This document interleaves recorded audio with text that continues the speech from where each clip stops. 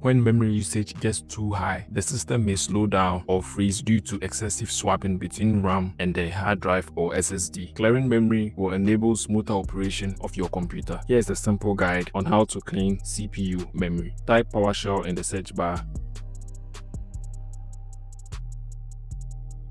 and run PowerShell as an administrator.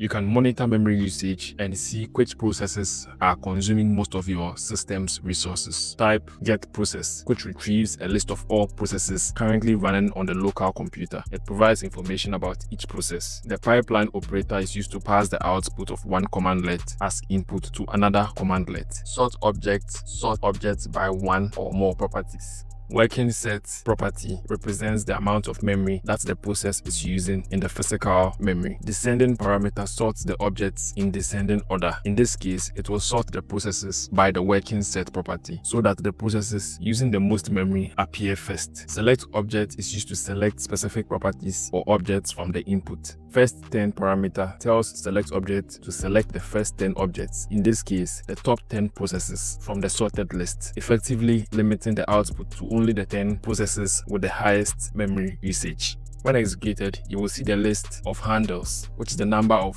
handles the process has opened.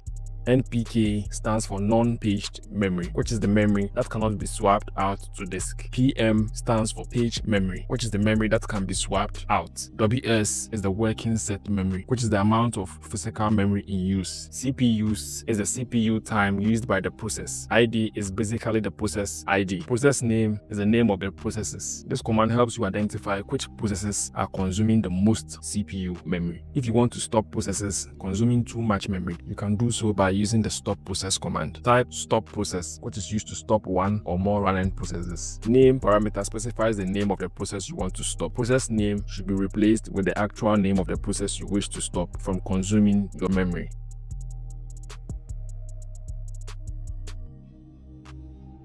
The force parameter is used to forcefully terminate the process, even if it is running in the background.